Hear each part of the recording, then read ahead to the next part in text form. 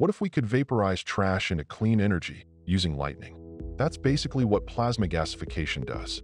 It employs plasma arcs exceeding 5,500 degrees Celsius, hotter than the sun's surface, to break down waste into syngas, a mix of hydrogen and carbon monoxide, usable for electricity or fuel.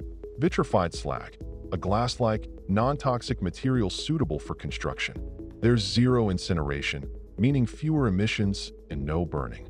Notably, India's NTPC is pioneering a plasma oxygasification plant to process municipal and agricultural waste, aiming to produce over 99.9% pure green hydrogen.